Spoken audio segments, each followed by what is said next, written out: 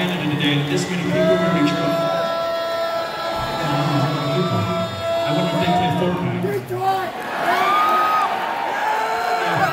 On the count of three, scream rock and roll, watch what Detroit gives you back. Get your hands up, D-Town, help me out.